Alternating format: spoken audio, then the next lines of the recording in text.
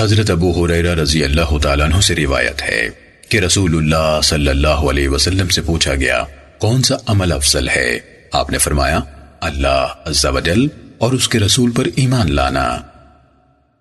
سنن نسائی، حدیث نمبر چار ہزار نو سو اٹھاسی۔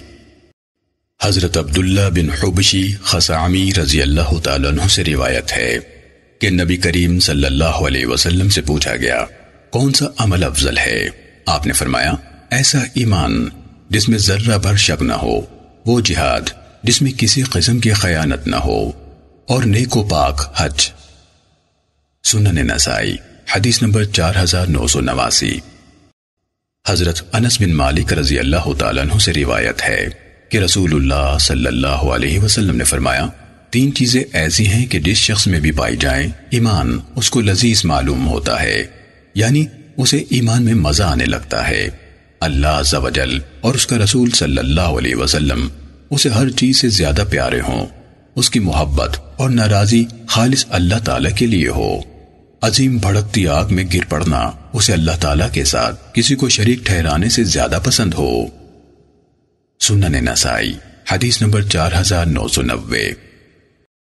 حضرت انس بن مالک رضی اللہ تعالیٰ عنہ نے بیان فرمایا کہ نبی صلی اللہ علیہ وسلم نے فرمایا، جس شخص میں یہ تین چیزیں پائی جائیں، وہ ایمان کی مٹھاس محسوس کرتا ہے۔ جو شخص کسی آدمی سے محبت کرتا ہے، کسی مفاد کے لیے نہیں، بلکہ صرف اللہ تعالیٰ کی رضا کے لیے، جسے اللہ تعالیٰ اور اس کا رسول ہر چیز سے زیادہ پیارے ہوں۔ جس شخص کو آگ میں کود جانا، کفر کی طرف لوٹ جانے سے زیادہ پسند ہو، جبکہ اللہ تعالیٰ نے اس کو کفر سے نکال لیا ہو۔ سنن نسائی حدیث نمبر چار ہزار نو سو اکانوے۔ حضرت انس رضی اللہ تعالیٰ عنہ سے روایت ہے کہ نبی اکرم صلی اللہ علیہ وسلم نے فرمایا، تین اوصاف جس شخص میں پائے جائیں، وہ ان کی برکت سے اسلام کی مٹھاس محسوس کرے گا۔ وہ شخص جس کو اللہ تعالیٰ اور اس کا رسول صلی اللہ علیہ وسلم ہر چیز سے زیادہ پیارے ہوں، جو کسی شخص سے صرف اللہ تعالیٰ کی رضا کے لیے محبت کرے۔ جس شخص کو کفر کی طرف لوٹنا اتنا ناپسند ہو جتنا آگ میں پھینک دیا جانا۔ سنن نسائی، حدیث نمبر چار ہزار نو سو بانوے۔ حضرت عمر ابن الخطاب رضی اللہ تعالیٰ عنہ نے فرمایا، ایک دن ہم رسول اللہ صلی اللہ علیہ وسلم کے پاس حاضر تھے کہ ایک آدمی ہمیں اچانک نظر پڑا۔ اس کے کپڑے انتہائی سفید تھے اور سر کے بال انتہائی سیاہ۔ نہ تو اس پر سفر کے نشانات نظر آتے تھے اور نہ اسے کوئی پہچانتا تھا۔ حتیٰ کہ وہ رسول اللہ صلی اللہ علیہ وسلم کے پاس آ کر بیٹھ گیا اور اس نے اپنے گھٹنے رسول اللہ صلی اللہ علیہ وسلم کے گھٹنوں کے ساتھ لگا دیے اور اپنی ہتھیلیاں آپ کی رانوں پر رکھ لیں۔ پھر کہا، اے محمد، مجھے اسلام کے بارے میں بتلائیں۔ آپ نے فرمایا، یہ کہ تو گواہی دے کہ اللہ تعالیٰ کے سوا کوئی عبادت کے لائق نہیں۔ اور حضرت محمد صلی اللہ علیہ وسلم اللہ تعالیٰ کے رسول ہیں اور تو نماز کی پابندی کرے، زکوٰۃ ادا کرے۔ رمضان المبارک کے روزے رکھے اور اگر تو طاقت رکھے تو بیت اللہ کا حج کرے۔ اس نے کہا، آپ سچ فرماتے ہیں۔ ہمیں اس پر حیرانی ہوئی کہ یہ آپ سے پوچھتا بھی ہے اور تصدیق بھی کرتا ہے۔ پھر اس نے کہا، آپ مجھے ایمان کے بارے میں بتلائیں۔ آپ نے فرمایا، یہی کہ تو اللہ تعالیٰ پر، اس کے فرشتوں، اس کی کتابوں، اس کے رسولوں، یوم آخرت اور ہر اچھی بری تقدیر پر ایمان رکھے۔ اس نے کہا، آپ سچ فرماتے ہیں۔ مجھے احسان کے بارے میں بتلائیں۔ آپ نے فرمایا، یہ کہ تو اللہ تعالیٰ کی عبادت اس طرح کرے، گویا اسے تو دیکھ رہا ہے۔ پھر اگر تو اسے نہیں دیکھتا، تو وہ تجھے دیکھ رہا ہے۔ اس نے کہا، مجھے قیامت کے بارے میں خبر دیجیے۔ آپ نے فرمایا، جس سے پوچھا گیا ہے، وہ پوچھنے والے سے قیامت کا زیادہ علم نہیں رکھتا۔ اس نے کہا، پھر مجھے اس کی نشانیاں بتلا دیجیے۔ آپ نے فرمایا، ایک نشانی یہ ہے کہ لونڈی اپنی مالکہ کو جنے گی۔ اور دوسری یہ کہ تو ننگے پاؤں پھرنے والے، ننگے جسم رہنے والے، بکریوں کے کنگال چرواہوں کو دیکھے گا کہ وہ ایک دوسرے کے مقابلے میں فخریہ انداز میں اونچی اونچی عمارتیں بنانے لگے ہیں۔ پھر وہ چلا گیا۔ حضرت عمر رضی اللہ تعالیٰ عنہ نے فرمایا، تین دن میں اسی طرح ششتر ٹھہرا رہا۔ پھر رسول اللہ صلی اللہ علیہ وسلم نے مجھے فرمایا، عمر، جانتے ہو وہ سائل کون تھا؟ میں نے کہا، اللہ، اور اس کا رسول ہی خوب جانتے ہیں۔ آپ صلی اللہ علیہ وسلم نے فرمایا، وہ جبرائیل علیہ السلام تھے، تمہیں تمہارے دینی معاملات سکھانے آئے تھے۔ سنن نسائی، حدیث نمبر چار ہزار نو سو ترانوے۔ حضرت ابو حریرہ اور حضرت ابو ذر رضی اللہ تعالیٰ عنہما نے فرمایا کہ رسول اللہ صلی اللہ علیہ وسلم اپنے صحابہ میں اس طرح تشریف فرما ہوتے تھے کہ کوئی اجنبی آدمی آتا تو وہ نہیں پہچان سکتا تھا کہ آپ کون سے ہیں۔ حتیٰ کہ وہ آپ کی بابت پوچھتا، اس لیے ہم نے رسول اللہ صلی اللہ علیہ وسلم سے اجازت طلب کی کہ ہم آپ کے بیٹھنے کے لیے مخصوص جگہ بنا دیں تاکہ اجنبی آدمی آئے تو وہ بھی آپ کو پہچان سکے۔ اجازت ملنے پر ہم نے آپ کے لیے مٹی کا ایک تھڑا بنا دیا۔ آپ اس پر تشریف فرما ہوتے تھے۔ ایک دفعہ ہم بیٹھے تھے اور رسول اللہ صلی اللہ علیہ وسلم بھی اپنے مخصوص مقام پر تشریف فرما تھے کہ ایک انتہائی خوبصورت اور خوشبو میں بسا ہوا ایک آدمی آیا۔ اس کے کپڑوں کو ہلکا سا میل کچیل بھی نہیں لگا تھا، حتیٰ کہ اس نے نیچے بچھی ہوئی چٹائی کے کنارے کے پاس آ کر سلام کہا اور کہا، اے محمد، السلام علیکم۔ آپ علیہ السلام نے اسے جواب دیا۔ اس نے کہا، اے محمد، میں قریب آ سکتا ہوں۔ آپ نے فرمایا، قریب آ جاؤ۔ وہ بار بار اسی طرح کہتا رہا، اور قریب آ جاؤں۔ اور آپ نے فرمات وہ بار بار اسی طرح کہتا رہا، اور قریب آ جاؤں۔ اور آپ صلی اللہ علیہ وسلم فرماتے رہے، قریب آ جاؤ۔ حتیٰ کہ اس نے اپنا ہاتھ رسول اللہ صلی اللہ علیہ وسلم کے مبارک گھٹنوں پر رکھ دیا اور کہا، اے محمد، مجھے بتائیے، اسلام کیا ہے؟ آپ نے فرمایا، اسلام یہ ہے کہ تو خالص اللہ تعالیٰ کی عبادت کرے اور اس کے ساتھ کسی چیز کو شریک نہ سمجھے، نماز قائم کرے، زکوٰۃ ادا کرے، بیت اللہ کا حج کرے اور رمضان المبارک کے روزے رکھے۔ اس نے کہا جب میں یہ کام کر لوں تو کیا میں مسلمان ہو گیا؟ آپ نے فرمایا ہاں۔ اس نے کہا، آپ نے سچ فرمایا۔ جب ہم نے اس شخص کی یہ بات سنی تو ہم نے اس پر تعجب کیا یعنی پوچھتا بھی ہے اور تصدیق بھی کرتا ہے۔ پھر اس نے کہا، اے محمد، فرمائیے، ایمان کیا ہے؟ آپ نے فرمایا، ایمان یہ ہے کہ تو اللہ تعالیٰ اس کے فرشتوں، کتابوں، نبیوں اور تقدیر کو دل و جان سے تسلیم کر لے۔ اس نے کہا جب میں یہ کام کر لوں گا تو کیا میں مومن ہو گیا؟ آپ نے فرمایا ہاں۔ اس نے کہا، آپ نے سچ فرمایا۔ پھر کہنے لگا، اے محمد، یہ بتلائیے، احسان کیا ہے؟ آپ نے فرمایا، احسان یہ ہے کہ تو اللہ تعالیٰ کی عبادت اس طرح کرے، گویا تو اللہ تعالیٰ کو دیکھ رہا ہے۔ اگر تو اسے نہیں دیکھتا، تو وہ تو تجھے دیکھ رہا ہے۔ وہ کہنے لگا، آپ نے سچ فرمایا۔ پھر وہ کہنے لگا، اے محمد، مجھے بتائیے قیامت کب آئے گی؟ آپ نے سر جھکا لیا اور اسے کچھ جواب نہ دیا۔ اس نے دوبارہ پھر وہی سوال کیا۔ آپ نے پھر کوئی جواب نہ دیا۔ اس نے تیسری دفعہ پھر وہی سوال کیا۔ آپ نے پھر بھی کوئی جواب نہ دیا۔ پھر آپ نے اپنا سر مبارک اٹھایا اور فرمایا، جس شخص سے قیامت کے بارے میں پوچھا گیا ہے، وہ پوچھنے والے سے زیادہ نہیں جانتا۔ لیکن قیامت کی کچھ علامات ہیں جن کے ساتھ اس کا پتہ چل جائے گا۔ مثلا جب تو دیکھے کہ بکریوں بھیڑوں کے چرواہے عمارتیں بنانے میں ایک دوسرے کا فخریہ انداز میں مقابلہ کر رہے ہیں اور تو ننگے پاؤں چلنے والے اور ننگے جسم رہنے والے کو زمین کا بادشاہ بنا دیکھے اور دیکھے کہ عورتیں اپنے مالک کو جننے لگی ہیں، تو پھر قیامت کا انتظار کر۔ پانچ چیزیں ایسی ہیں جن کو اللہ تعالیٰ کے سوا کوئی نہیں جانتا۔ پھر آپ نے یہ آیت پڑھی۔ ان اللہ عنده علم یعنی اللہ ہی کو قیامت کا علم ہے۔ پھر فرمایا، قسم الزاد کی، جس نے محمد صلی اللہ علیہ وسلم کو سچا نبی بنایا، جو رہنمائی کرنے والا اور خوشخبری دینے والا ہے۔ تمہاری طرح میں بھی اس آدمی کو پہچان نہیں سکا تھا۔ پھر معلوم ہوا کہ وہ جبرائیل علیہ السلام تھے، جو دہیا قلبی کی صورت میں آئے تھے۔ سنن نسائی، حدیث نمبر چار ہزار نو سو چورانوے۔ حضرت سعد بن نبی وقاص رضی اللہ تعالیٰ عنہ نے فرمایا، نبی صلی اللہ علیہ وسلم نے کچھ لوگوں کو مال دیا، لیکن ان میں سے ایک آدمی کو کچھ نہ دیا۔ سعد نے کہا، اے اللہ کے رسول، آپ نے فلاں اور فلاں کو تو مال دیا ہے، لیکن فلاں کو کچھ نہیں دیا۔ حالانکہ وہ بھی صاحب ایمان ہے۔ نبی اکرم صلی اللہ علیہ وسلم نے فرمایا، بلکہ وہ مسلمان ہے۔ سعد نے اپنی بات تین دفعہ دہرائی۔ نبی اکرم صلی اللہ علیہ وسلم ہر دفعہ یہی فرماتے تھے، بلکہ وہ مسلمان ہے۔ پھر نبی اکرم صلی اللہ علیہ وسلم نے فرمایا، بسا اوقات میں کچھ لوگوں کو مال دیتا ہوں، جبکہ ان لوگوں کو چھوڑ دیتا ہوں جو مجھے زیادہ پیارے ہوتے ہیں۔ میں انہیں کچھ نہیں دیتا۔ دیتا ہوں اس خوف سے کہ کہیں وہ جہنم میں اوندے منہ نہ گرائے جائیں۔ سنن نسائی، حدیث نمبر چار ہزار نو سو پچانوے۔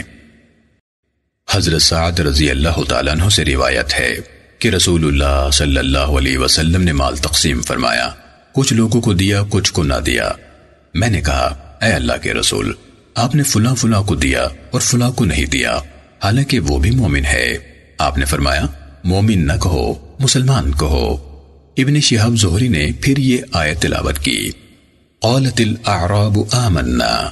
یعنی دیہاتی کہتے ہیں، ہم ایمان لائے۔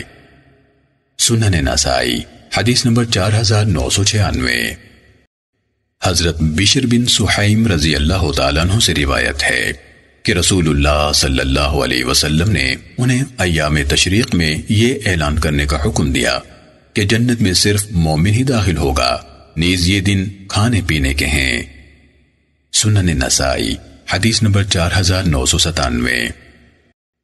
حضرت ابو حریرہ رضی اللہ تعالیٰ عنہ سے منقول ہے کہ رسول اللہ صلی اللہ علیہ وسلم نے فرمایا، اصل مسلمان وہ ہے جس کی زبان اور ہاتھ سے دوسرے مسلمان محفوظ ہوں، اور اصل مومن وہ ہے جس سے لوگوں کو اپنی جان و مال کے بارے میں کوئی خطرہ نہ ہو۔ سنن نسائی، حدیث نمبر چار ہزار نو سو اٹھانوے۔ حضرت عبداللہ بن عامر رضی اللہ تعالیٰ عنہ بیان کرتے ہیں کہ میں نے رسول اللہ صلی اللہ علیہ وسلم کو فرماتے سنا۔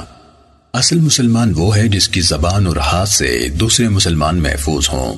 اور اصل مہاجر وہ ہے جو ان چیزوں کو چھوڑ دے جن سے اللہ تعالیٰ نے منع فرمایا ہے۔ سنن نسائی، حدیث نمبر چار ہزار نو سو ننانوے۔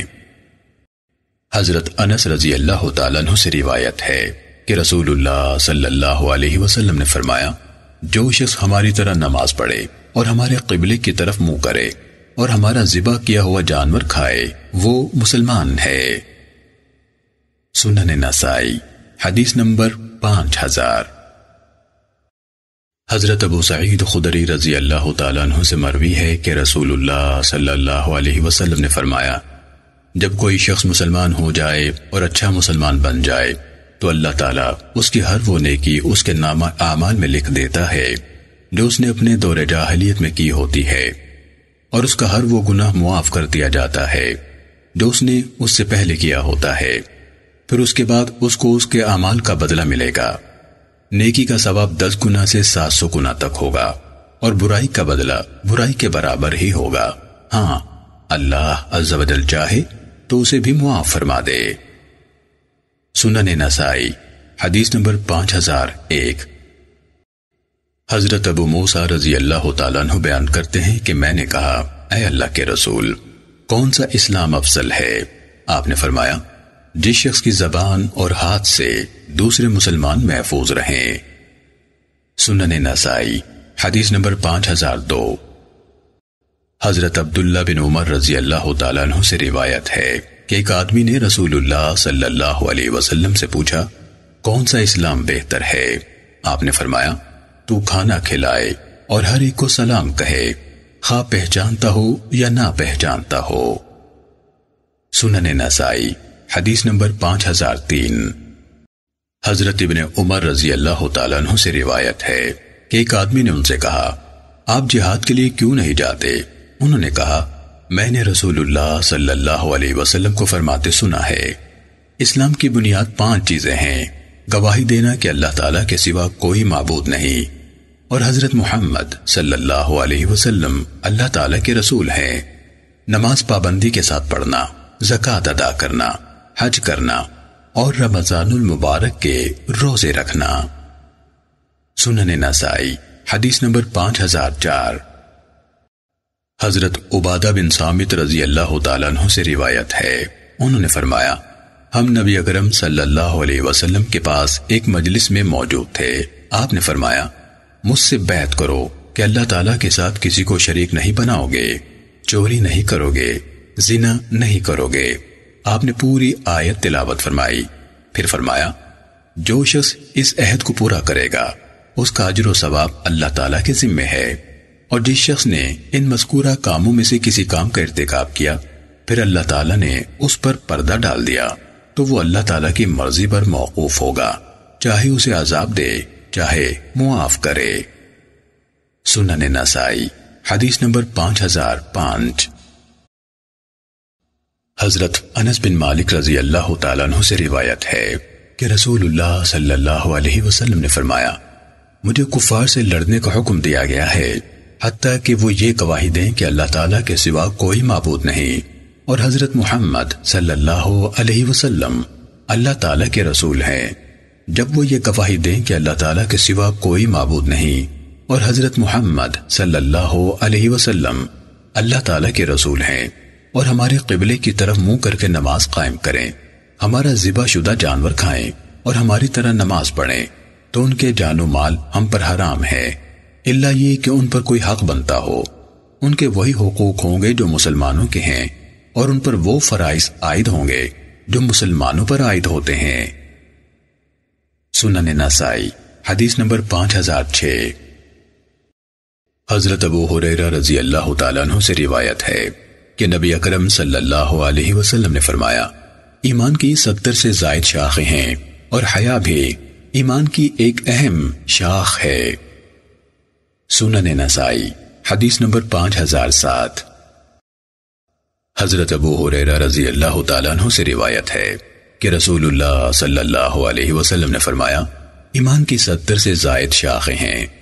ان میں سے افضل کلمہ توحید و رسالت کی ادائیگی ہے اور ان میں سے کم مرتبہ راستے سے تکلیف دہ چیز کو دور کرنا ہے۔ اور حیا بھی ایمان کی ایک اہم شاخ ہے۔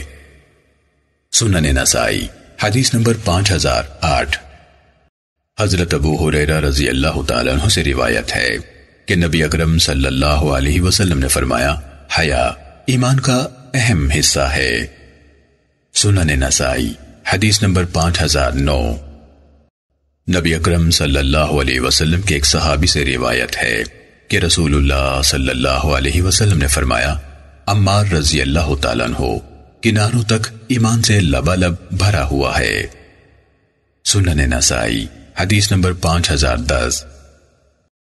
حضرت ابو سعید رضی اللہ تعالیٰ عنہ بیان کرتے ہیں کہ میں نے رسول اللہ صلی اللہ علیہ وسلم کو فرماتے سنا، جو شخص برا کام ہوتا دیکھے، وہ اسے اپنے ہاتھ سے ختم کر دے، اور اگر طاقت نہ ہو تو زبان کے ساتھ روکے، اور اگر اس کی بھی طاقت نہ رکھتا ہو تو اپنے دل سے برا جانے، اور یہ آخری درجہ کمزور ترین ایمان ہے۔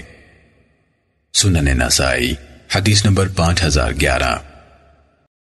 حضرت ابو سعید خدری رضی اللہ تعالیٰ عنہ بیان کرتے ہیں کہ میں نے رسول اللہ صلی اللہ علیہ وسلم کو فرماتے سنا، جو شخص برائی ہوتی دیکھے اور اپنے ہاتھ سے روک دے، وہ گناہ سے بری ہو گیا۔ جو ہاتھ سے روکنے کی طاقت نہ رکھے اور زبان سے روک دے، وہ بھی گناہ سے بری ہو گیا۔ اور جو شخص زبان سے روکنے کی طاقت نہ رکھے، لیکن دل سے برا سمجھے، وہ بھی گناہ سے بری ہے۔ اور یہ کمزور ترین ایمان ہے۔ سنن نسائی، حدیث نمبر پانچ ہزار بارہ۔ حضرت ابو سعید خدری رضی اللہ تعالیٰ عنہ نے فرمایا کہ میں نے رسول اللہ صلی اللہ علیہ وسلم کو فرماتے سنا، تم دنیا میں اپنے حق کی خاطر اتنا نہیں جھگڑتے جتنا جھگڑا مومن اپنے رب تعالیٰ سے اپنے ان مسلمان بھائیوں کے بارے میں کریں گے جو آگ میں داخل کیے جائیں گے۔ وہ مومن کہیں گے، اے ہمارے رب، یہ ہمارے وہ مسلمان بھائی ہیں جو ہمارے ساتھ نماز پڑھتے تھے۔ روزے رکھتے تھے اور حج کرتے تھے۔ تو نے ان کو آگ میں ڈال دیا ہے۔ اللہ تعالیٰ فرمائے گا، جاؤ، جنہیں تم پہچانتے ہو، ان کو نکال لاؤ۔ وہ جائیں گے اور ان کو ان کی صورتوں سے پہچانیں گے۔ ان میں سے کسی کو نصف پنڈلیوں تک آگ لگی ہوگی اور کسی کو ٹخنوں تک۔ وہ ان کو نکال لائیں گے اور کہیں گے، اے ہمارے رب، جن کے بارے میں تو نے فرمایا تھا، وہ تو ہم نے نکال لیے۔ اللہ تعالیٰ فرمائے گا، ان کو بھی نکالو۔ جن کے دل میں ایک دینار کے برابر بھی ایمان ہے، پھر فرمائے گا، ان کو بھی نکالو، جن کے دل میں نصف دینار کے برابر ایمان ہے۔ حتیٰ کہ فرمائے گا، ان کو بھی نکالو، جن کے دل میں ذرہ بھر بھی ایمان ہے۔ حضرت ابو سعید خدری رضی اللہ تعالیٰ عنہ نے فرمایا، جو شخص اس حدیث کی تصدیق میں متذبذب ہو، وہ یہ آیت پڑھ لے۔ ان اللہ لا یغفر ان یشرک بھی یعنی یقیناً اللہ تعالیٰ یہ تو معاف نہیں فرمائے گا کہ اس کے ساتھ کسی کو شریک ٹھہرایا جائے۔ البتہ اس سے کم دوسرے گناہ جس کو چاہے معاف فرمائے گا۔ آخر آیت تک۔ سنن نسائی، حدیث نمبر پانچ ہزار تیرہ۔ حضرت ابو سعید خدری رضی اللہ تعالیٰ عنہ سے روایت ہے کہ رسول اللہ صلی اللہ علیہ وسلم نے فرمایا میں ایک دفعہ سویا ہوا تھا کہ خواب میں دیکھا کہ لوگ مجھ پر پیش کیے جا رہے ہیں۔ انہوں نے قمیضیں پہن رکھی ہیں۔ بعض تو اتنی چھوٹی ہیں کہ پستانوں تک ہی پہنچتی ہیں اور کچھ ان سے نیچی ہیں۔ عمر ابن الخطاب مجھ پر پیش کیے گئے۔ تو ان پر اتنی لمبی قمیض تھی کہ زمین پر گھسک رہی تھی۔ صحابہ کرام نے کہا، اے اللہ کے رسول صلی اللہ علیہ وسلم، آپ نے اس کی کیا تعبیر فرمائی ہے؟ آپ نے فرمایا، دین۔ سنن نسائی۔ حدیث نمبر پانچ ہزار چودہ۔ حضرت طارق بن شہاب رحمہ اللہ سے مروی ہے کہ ایک یہودی شخص حضرت عمر ابن الخطاب رضی اللہ تعالیٰ عنہ کے پاس آیا اور کہا، اے امیر المومنین، تمہاری کتاب یعنی قرآن مجید میں ایک آیت ہے، جسے تم پڑھتے ہو۔ اگر وہ ہم یہودیوں پر نازل ہوئی ہوتی، تو ہم اس کے نزول کے دن کو تہوار بنا لیتے۔ حضرت عمر رضی اللہ تعالیٰ عنہ نے فرمایا، کون سی آیت؟ اس نے کہا الیوم اکملت لکم دینکم۔ یعنی آج میں نے تمہارے لیے تمہارا دین مکمل کر دیا اور اپنا احسان تم پر پورا کر دیا اور تمہارے لیے اسلام کو دین کے طور پر پسند فرمایا۔ حضرت عمر رضی اللہ تعالیٰ عنہ نے فرمایا، میں اس جگہ کو بھی جانتا ہوں جس میں یہ آیت اتری ہے اور اس دن کو بھی۔ یہ آیت رسول اللہ صلی اللہ علیہ وسلم پر بمقام عرفات جمعت المبارک کے دن اتری۔ سنن نسائی، حدیث نمبر پانچ ہزار پندرہ۔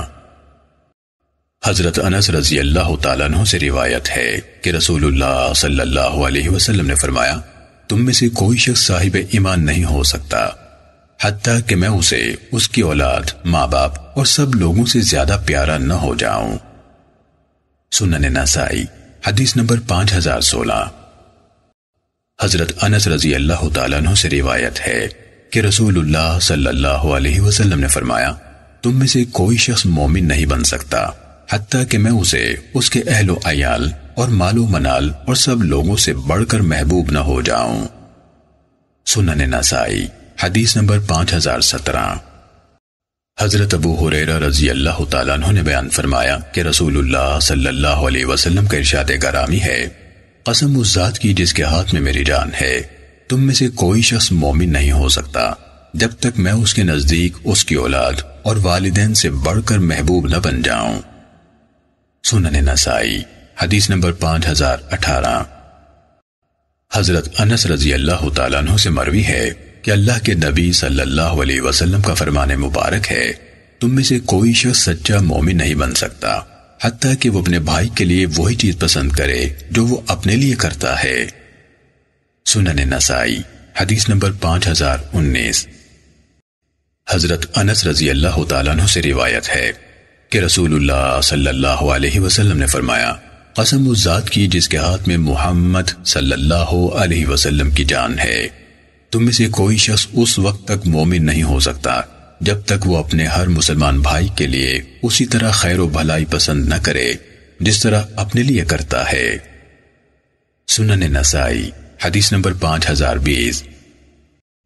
حضرت زر بن حبائی سے روایت ہے کہ حضرت علی رضی اللہ تعالیٰ عنہ نے فرمایا، نبی امی صلی اللہ علیہ وسلم مجھے ارشاد فرمایا کرتے تھے کہ تجھ سے مومن ہی محبت کرے گا اور تجھ سے منافق ہی بغض رکھے گا۔ سنن نسائی، حدیث نمبر پانچ ہزار اکیس۔ حضرت انس رضی اللہ تعالیٰ عنہ سے روایت ہے کہ نبی اکرم صلی اللہ علیہ وسلم نے فرمایا، انصار سے محبت ایمان کی نشانی ہے اور انصار سے بغض نفاق کی نشانی ہے۔ سنن نسائی، حدیث نمبر پانچ ہزار بائیس۔ حضرت عبداللہ بن عامر رضی اللہ تعالیٰ عنہ سے روایت ہے کہ نبی اکرم صلی اللہ علیہ وسلم نے فرمایا، چار خصلتیں ایسی ہیں کہ جس شخص میں سب کی سب پائی جائیں، وہ خالص منافق ہوگا اور جس شخص میں ان چاروں میں سے کوئی ایک پائی جائے، اس میں نفاق کی ایک خصلت ہوگی، حتیٰ کہ وہ اسے چھوڑ دے۔ نمبر ایک، جب بات کرے تو جھوٹ بولے۔ نمبر دو، جب وعدہ کرے تو خلاف ورزی کرے۔ نمبر تین، جب عہد کرے تو بے وفائی کرے۔ اور نمبر چار، جب لڑائی جھگڑا کرے تو گالی پکے۔ سنن نسائی، حدیث نمبر پانچ ہزار تیئیس۔ حضرت ابو حریرہ رضی اللہ تعالیٰ عنہ سے روایت ہے کہ رسول اللہ صلی اللہ علیہ وسلم نے فرمایا، منافق کی تین نشانیاں ہیں۔ جب بات کرے جھوٹ بولے، جب وعدہ کرے تو خلاف ورزی کرے۔ جب اس کے پاس امانت رکھی جائے تو خیانت کرے۔ سنن نسائی، حدیث نمبر پانچ ہزار چوبیس۔ حضرت علی رضی اللہ تعالیٰ عنہ سے روایت ہے۔ انہوں نے فرمایا رسول اللہ صلی اللہ علیہ وسلم نے مجھے ارشاد فرمایا تھا کہ تجھ سے مومن ہی محبت کرے گا اور تجھ سے منافق ہی بغض رکھے گا۔ سنن نسائی، حدیث نمبر پانچ ہزار پچیس۔ حضرت عبداللہ بن مسعود رضی اللہ تعالیٰ عنہ نے فرمایا، تین عادتیں جس میں پائی جائیں وہ منافق ہوگا۔ جب بات کرے، جھوٹ بولے۔ جب اس کے پاس امانت رکھی جائے تو خیانت کرے۔ اور جب وعدہ کرے، خلاف ورزی کرے، جس شخص میں ان میں سے کوئی ایک عادت پائی جائے، اس میں نفاق کی خصلت رہے گی، حتیٰ کہ اسے چھوڑ دے۔ سنن نسائی، حدیث نمبر پانچ ہزار چھبیس۔ حضرت ابو حریرہ رضی اللہ تعالیٰ عنہ سے روایت ہے کہ رسول اللہ صلی اللہ علیہ وسلم نے فرمایا، جو شخص ماہ رمضان المبارک کا قیام ایمان کی حالت میں اور ثواب کی نیت سے کرے اس کے پہلے تمام گناہ معاف کر دیے جاتے ہیں۔ سنن نسائی، حدیث نمبر پانچ ہزار ستائیس۔ حضرت ابو حریرہ رضی اللہ تعالیٰ عنہ سے مروی ہے کہ نبی اکرم صلی اللہ علیہ وسلم نے فرمایا، جو شخص ایمان کی حالت میں اور ثواب کی نیت سے رمضان المبارک کی راتوں کا قیام کرے، اس کے سب پہلے گناہ معاف کر دیے جاتے ہیں۔ سنن نسائی حدیث نمبر پانچ ہزار اٹھائیس۔ حضرت ابو حریرہ رضی اللہ تعالیٰ عنہ سے روایت ہے کہ نبی اکرم صلی اللہ علیہ وسلم نے فرمایا، جو شخص رمضان المبارک کی راتوں میں ایمان کی بنا پر اور ثواب کی نیت سے عبادت کرے، اس کے سب پہلے گناہ معاف کر دیے جاتے ہیں۔ سنن نسائی، حدیث نمبر پانچ ہزار انتیس۔ حضرت ابو حریرہ رضی اللہ تعالیٰ عنہ کا بیان ہے۔ کہ رسول اللہ صلی اللہ علیہ وسلم نے فرمایا، جو شخص ایمان کے جذبے اور ثواب کی نیت سے رمضان المبارک کا قیام کرے، اس کے سب پہلے گناہ معاف کر دیے جاتے ہیں۔ اور جو شخص جذبہ ایمان اور نیت ثواب کے ساتھ لیلت القدر میں عبادت کرے، اس کے بھی سب پہلے گناہ معاف کر دیے جاتے ہیں۔ سنن نسائی، حدیث نمبر پانچ ہزار تیس۔ حضرت طلحہ بن عبید اللہ نے فرمایا، ایک آدمی نجد کے علاقے سے رسول اللہ صلی اللہ علیہ وسلم کی خدمت میں حاضر ہوا۔ اس کے سر کے بال بکھرے ہوئے تھے۔ اس کی آواز کی بن بناہٹ تو سنائی دیتی تھی، مگر اس کی بات سمجھ میں نہیں آتی تھی۔ حتیٰ کہ وہ قریب آ گیا تو پتا چلا کہ وہ اسلام کے بارے میں پوچھ رہا ہے۔ رسول اللہ صلی اللہ علیہ وسلم نے اسے فرمایا، ہر دن رات میں پانچ نمازیں۔ اس نے کہا، کیا ان کے علاوہ کوئی اور نماز بھی مجھ پر فرض ہے؟ آپ نے فرمایا، نہیں، مگر یہ کہ تو خوشی سے پڑھے۔ رسول اللہ صلی اللہ علیہ وسلم نے اسے فرمایا، اور ماہ رمضان المبارک کے روزے۔ اس نے کہا، کیا اس کے علاوہ بھی مجھ پر کوئی روزے فرض ہیں؟ آپ نے فرمایا، نہیں، مگر یہ کہ تو خوشی سے رکھے۔ رسول اللہ صلی اللہ علیہ وسلم نے اس کے سامنے زکوٰۃ کا بھی ذکر فرمایا۔ اس نے کہا، اس کے علاوہ بھی کوئی مالی چیز یعنی صدقہ مجھ پر فرض ہے؟ آپ نے فرمایا، نہیں اللہ یہ کہ تو نفل صدقہ کرے۔ وہ آدمی واپس جانے لگا تو کہہ رہا تھا۔ میں نہ اس سے زیادہ کروں گا نہ کم۔ رسول اللہ صلی اللہ علیہ وسلم نے فرمایا، اگر یہ آدمی اپنی بات پر پکا رہا تو کامیاب ہو گیا۔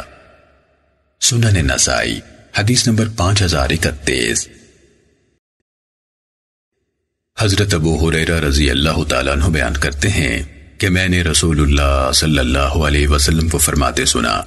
جو شخص اللہ تعالیٰ کے راستے میں جہاد کے لیے نکلتا ہے، اس کے لیے اللہ تعالیٰ نے ضمانت دے رکھی ہے کہ اگر وہ صرف مجھ پر ایمان رکھتے ہوئے اور خالص میرے راستے میں جہاد کرنے کے لیے نکلتا ہے، تو میں اسے ضرور جنت میں داخل کروں گا، چاہے وہ میدان جنگ میں قتل ہو جائے یا اسی راستے میں فوت ہو جائے، یا پھر وہ یعنی اللہ تعالیٰ، اس کو، اس کے گھر واپس لائے گا، جس سے وہ نکلا تھا، جبکہ اس کو ثواب بھی حاصل ہوگا اور غنیمت بھی جو اس کے مقدر میں ہے۔ سنن نسائی، حدیث نمبر پانچ ہزار بتیس۔ حضرت ابو حریرہ رضی اللہ تعالیٰ عنہ سے روایت ہے کہ رسول اللہ صلی اللہ علیہ وسلم نے فرمایا، جو شخص اللہ تعالیٰ کے راستے میں جہاد کے لیے نکلتا ہے، جبکہ اس کی نیت صرف اللہ تعالیٰ کے راستے میں جہاد ہی کی ہو، اور مجھ پر ایمان اور میرے رسولوں کی تصدیق ہی اس کو جہاد پر مجبور کر رہے ہوں، تو اللہ تعالیٰ نے ضمانت دے رکھی ہے کہ میں اسے ضرور جنت میں داخل کروں گا۔ یا اسے اس کے گھر میں واپس لاؤں گا، جہاں سے وہ جہاد کے لیے نکلا تھا۔ علاوہ ثواب اور غنیمت کے جو اس کو ملے۔ سنن نسائی، حدیث نمبر پانچ ہزار تینتیس۔ حضرت ابن عباس رضی اللہ تعالیٰ عنہ سے روایت ہے۔ انہوں نے فرمایا، قبیلہ عبد القیس کا وفد رسول اللہ صلی اللہ علیہ وسلم کی خدمت اقدس میں حاضر ہوا اور کہا، ہم قبیلہ عبد القیس والے ربیہ کی نسل سے ہیں۔ ہم حرمت والے مہینے کے علاوہ آپ کے پاس نہیں آ سکتے۔ ہمیں کسی اہم چیز کا حکم دیجیے جو ہم آپ سے سیکھیں اور واپس جا کر اپنے علاقے کے لوگوں کو اس کی دعوت دیں۔ تب آپ نے فرمایا، میں تمہیں چار چیزوں کا حکم دیتا ہوں اور چار چیزوں سے روکتا ہوں۔ پہلی چار چیزیں یہ ہیں، اللہ تعالیٰ پر ایمان لانا۔ پھر آپ نے ان کے لیے ایمان کی تفصیل بیان فرمائی۔ اس بات کی گواہی دینا کہ اللہ تعالیٰ کے سوا کوئی معبود نہیں اور میں اللہ تعالیٰ کا رسول ہوں۔ نماز پابندی سے ادا کرنا، زکوٰۃ ادا کرنا، اور اپنی غنیمتوں میں سے پانچواں حصہ مجھے یعنی بیت المال میں بھیجنا۔ اور میں تمہیں خوش کدو کے برتنوں، سبز مٹکے اور تار کول والے مٹکے سے روکتا ہوں۔ سنن نسائی، حدیث نمبر پانچ ہزار چونتیس۔ حضرت ابو حریرہ رضی اللہ تعالیٰ عنہ سے روایت ہے کہ نبی اکرم صلی اللہ علیہ وسلم نے فرمایا جو شخص جذبہ ایمان اور ثواب کی نیت رکھتے ہوئے کسی مسلمان کے جنازے کے ساتھ جائے اور نماز جنازہ پڑھے، پھر انتظار کرے حتیٰ کہ اسے قبر میں دفن کر دیا جائے تو اسے دو قیرات ثواب ملے گا، جن میں سے ہر ایک قیرات اہد پہاڑ کے برابر ہوگا اور جو صرف جنازہ پڑھ کر واپس آ جائے، اس کو ایک قیرات ثواب ملے گا۔ سنن نسائی، حدیث نمبر پانچ ہزار پینتیس۔ حضرت سالم کے والد محترم، حضرت ابن عمر رضی اللہ تعالیٰ عنہ سے روایت ہے کہ رسول اللہ صلی اللہ علیہ وسلم ایک آدمی کے پاس سے گزرے جو اپنے بھائی کو زیادہ حیا کرنے کی وجہ سے ڈانٹ رہا تھا۔ آپ صلی اللہ علیہ وسلم نے فرمایا، رہنے دے، حیا ایمان کا حصہ ہے۔ سنن نسائی، حدیث نمبر پانچ ہزار چھتیس۔ حضرت حضرت ابو حریرہ رضی اللہ تعالیٰ عنہ سے روایت ہے۔ کہ رسول اللہ صلی اللہ علیہ وسلم نے فرمایا، دین آسان ہے۔ جو شخص دین کو سخت بنائے گا، دین اس پر غالب آ جائے گا۔ لہٰذا تم اپنے اعمال درست رکھو۔ میانہ روی اختیار کرو۔ خوش رہو۔ لوگوں پر آسانی کرو۔ کچھ سفر پہلے پہر کر لیا کر۔ کچھ پچھلے پہر اور کچھ آخری رات کو۔ سنن نسائی، حدیث نمبر پانچ ہزار سینتیس۔ حضرت عائشہ رضی اللہ تعالیٰ عنہ سے روایت ہے کہ نبی اکرم صلی اللہ علیہ وسلم ان کے پاس تشریف لائے تو ان یعنی حضرت عائشہ رضی اللہ تعالیٰ عنہ کے پاس ایک عورت بیٹھی تھی۔ آپ نے فرمایا، یہ کون ہے؟ انہوں نے کہا، فلاں عورت ہے، یہ رات کو بالکل نہیں سوتی۔ اور اس کی نفل نماز کا ذکر کرنے لگی۔ آپ نے فرمایا، بس کرو، اتنا کام کیا کرو جس کی تم طاقت رکھتے ہو۔ اللہ کی قسم اللہ تعالیٰ ثواب دینے سے نہیں اکتائے گا، حتیٰ کہ تم مکتا جاؤ گے دین کے کاموں میں سے اللہ تعالیٰ کو سب سے زیادہ پسند وہ ہے جس پر عمل کرنے والا ہمیش کی کر سکے۔ سنن نسائی، حدیث نمبر پانچ ہزار اڑتیس۔ حضرت ابو سعید خدری رضی اللہ تعالیٰ عنہ سے روایت ہے کہ رسول اللہ صلی اللہ علیہ وسلم نے فرمایا، وہ وقت قریب ہے۔ جب مسلمان کا بہترین مال بکریاں ہوں گی، جن کو لے کر وہ پہاڑی چوٹیوں یا بارشی علاقوں میں چلا جائے گا، تاکہ اپنے دین کو فتنوں سے بچائے۔ سنن نسائی، حدیث نمبر پانچ ہزار انتالیس۔ حضرت ابن عمر رضی اللہ تعالیٰ عنہ سے روایت ہے کہ رسول اللہ صلی اللہ علیہ وسلم نے فرمایا، منافق کی مثال اس بکری کی طرح ہے جو بکرے کی طلب میں دو ریوڑوں کے درمیان رہتی ہے۔ کبھی اس ریوڑ میں جاتی ہے، کبھی اس ریوڑ میں۔ اس کو تسلی نہیں ہوتی کہ کس ریوڑ کے ساتھ رہے۔ سنن نسائی، حدیث نمبر پانچ ہزار چالیس۔ حضرت ابو موسیٰ اشعری رضی اللہ تعالیٰ عنہ نے کہا کہ رسول اللہ صلی اللہ علیہ وسلم نے فرمایا، اس مومن کی مثال جو قرآن مجید پڑھتا ہے، نارنگی کی طرح ہے، جس کا ذائقہ بھی اچھا ہے اور خوشبو بھی عمدہ۔ اور جو مومن قرآن نہیں پڑھتا اس کی مثال کھجور جیسی ہے، جس کا ذائقہ تو عمدہ ہے، مگر اس میں خوشبو نہیں۔ جو منافق قرآن پڑھتا ہے، اس کی مثال نازبو کی طرح ہے، جس کی خوشبو تو اچھی ہے، مگر ذائقہ کڑوا ہے۔ اور جو منافق قرآن نہیں پڑھتا، اس کی مثال ایلوے کی طرح ہے۔ اس کا ذائقہ بھی کڑوا ہے، خوشبو بھی نہیں۔ سنن نسائی، حدیث نمبر پانچ ہزار اکتالیس۔ حضرت انس بن مالک رضی اللہ تعالیٰ عنہ سے روایت ہے کہ نبی اکرم صلی اللہ علیہ وسلم نے فرمایا، تم میں سے کوئی شخص کامل مومن نہیں بن سکتا، حتیٰ کہ اپنے مسلمان بھائی کے لیے وہی کچھ پسند کرے جو اپنے لیے کرتا ہے۔ کتاب الایمان اختتام پذیر ہوئی۔ قاضی ابن قصار کہتے ہیں کہ میں نے عبد السمد بخاری سے سنا۔ وہ فرماتے تھے کہ حفظ بن عمر، جو حدیث نمبر پانچ ہزار میں عبد الرحمن بن مہدی سے بیان کرتے ہیں میں انہیں نہیں جانتا۔ ہاں اگر وہ حفظ بن عمر ورابالی ہوں، جو عموماً بصریوں سے روایت کرتے ہیں، تو وہ سقاراوی ہیں۔ قاضی کہتے ہیں کہ میں نے انہیں یہ کہتے ہوئے بھی سنا۔ میں نہیں جانتا کہ انس بن مالک سے مرفوع روایت، امرتو ان اقاتل وستقبلو قبلتنا کے اضافے کے ساتھ سوائے عبداللہ بن مبارک اور یحییٰ بن ایوب مصری کے کسی نے حمید الطویل سے بیان کی ہو۔ اور وہ اسی جز میں باب علا ما یقاتل الناس کے تحت گزر چکی ہے۔ سنن نسائی، حدیث نمبر پانچ ہزار بیالیس۔